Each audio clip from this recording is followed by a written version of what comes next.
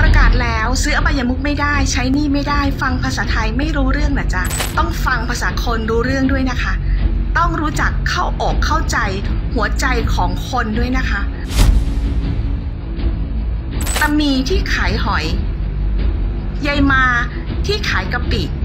อยู่ในตลาดเนี่ย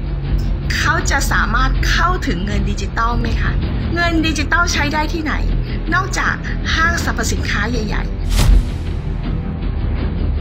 ว่ากันด้วยเรื่องของเงินดิจิตอลกันต่อค่ะโหช่วงนี้ต้องบอกคุณผู้ชมเลยนะคะว่าฟางได้นำเสนอเรื่องของเงินดิจิตอลเนี่ยเกาะติดมาฝากคุณผู้ชมกันเลยนะคะว่า ความเคลื่อนไหวในเรื่องของเงินดิจิตอลตอนนี้เป็นอย่างไรกันบ้างค่ะ ซึ่งก็มีการแสดงความคิดเห็นกันหลากหลายนะคะ ทั้งคนที่เห็นด้วยและไม่เห็นด้วยกับการแจกเงิน 10,000 บาทค่ะคุณผู้ชม อย่างล่าสุดค่ะยายขิ่นนะคะ ก็เคยออกมาแสดงความคิดเห็นในเรื่องของเงินดิจิตอลอยู่หลายครั้งเช่นกันค่ะ และครั้งนี้ปรากฏว่ามีโซเชียลรายหนึ่งค่ะ เขาเข้าไปคอมเมนต์แซะยายขิ่นนะคะ บอกว่าฟังภาษาไทยไม่รู้เรื่องหรอ จะเป็นอย่างไรบ้างลองไปติดตามรับชมกันดูค่ะ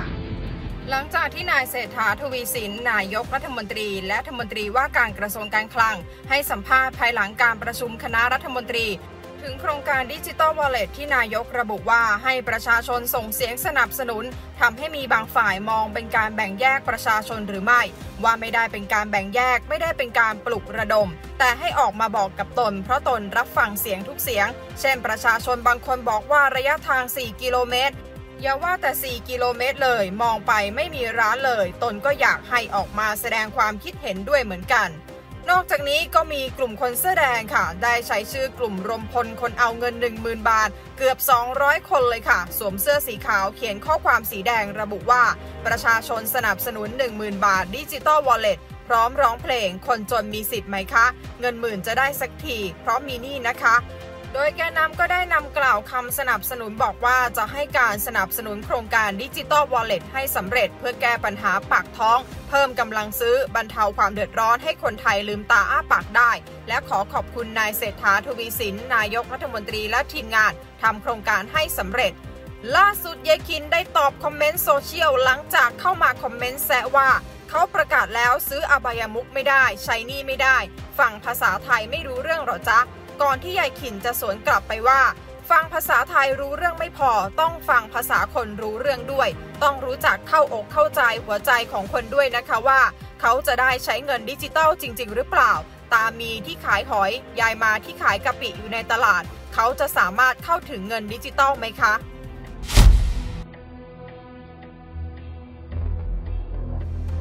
ข่าวประกาศแล้วซื้ออบายมุกไม่ได้ ใช้นี่ไม่ได้ ฟังภาษาไทยไม่รู้เรื่องนะจ๊ะ ฟังภาษาไทยรู้เรื่องไม่พอค่ะ ต้องฟังภาษาคนรู้เรื่องด้วยนะคะ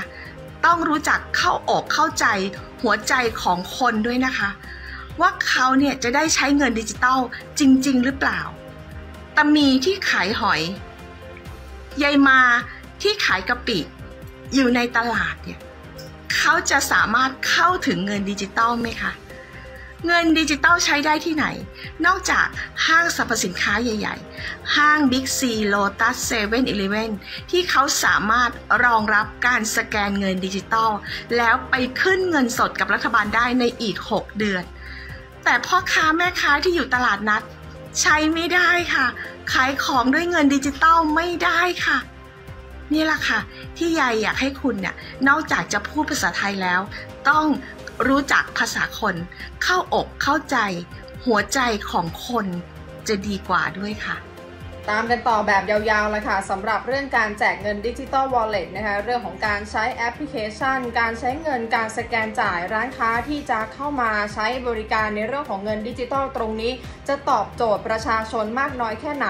และสามารถกระตุ้นเศรษฐกิจได้จริงหรือไม่นะคะ ทีมข่าว STALKER ก็จะมีการเกาะติดมาฝากคุณผู้ชมกัน หากอยากติดตามข่าวสารในรอบวันดีๆ แบบนี้ อย่าลืมค่ะ ช่วยกันกดไลค์กดแชร์ให้ทีมข่าวสตอกเกอร์กันค่ะ